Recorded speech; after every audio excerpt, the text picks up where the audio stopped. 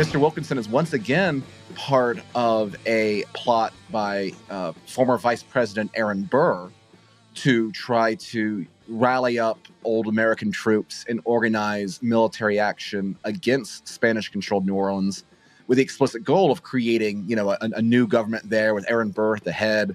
And, and he brings in, you know, he, he talks to Andrew Jackson about it and William Henry Harrison, lots of interesting characters.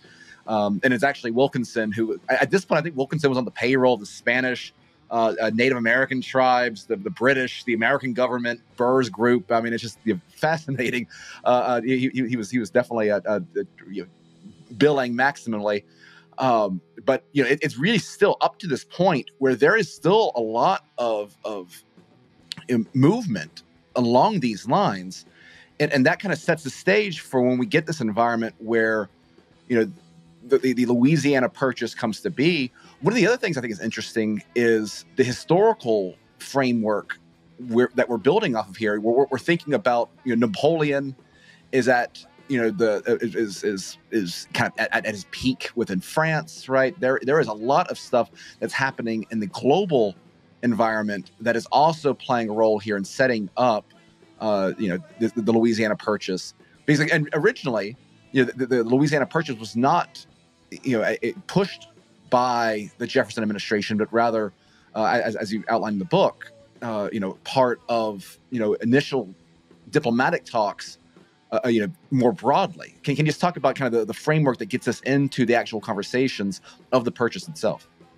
Yeah, sure. So, just to sort of speed through the American history, which we've been covering in prior episodes, obviously the U.S. Constitution gets passed and then in 1795, I believe there was Pinckney's Treaty, which basically allowed the United States to trade on the Mississippi River. This was done with a little bit of coercion in the sense that Spain was now fearful uh, after Jay's Treaty of an alliance between Britain and the United States. So this is sort of well, we're able to one you you know once once again sort of use our might to threaten to get what we want and of course this uh, I, be- I, believe it was robert morris who noted that this would uh, increase land values in that area of which he held. So there you go. You got all of the crony interest there.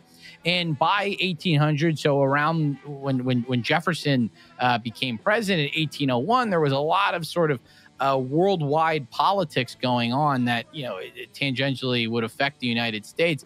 Most notably, Spain uh, had secretly agreed to transfer its control of Louisiana to France. Okay. Now, a couple of things. Louisiana back then did not just refer to the state of Louisiana, which we have now. Okay. New Orleans was the most important part of that.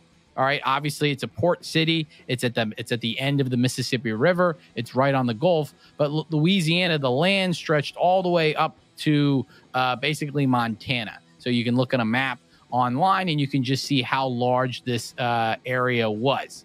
And so transferring it from Spain uh, to France was obviously a major power play because the Spanish government was seen now as very decrepit.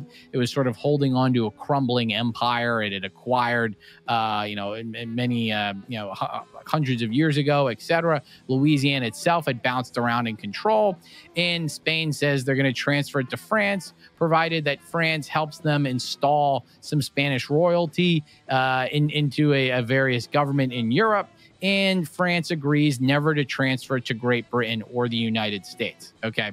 So, unfortunately for Spain, uh, France basically said no. We're, we're, we're not going to do that.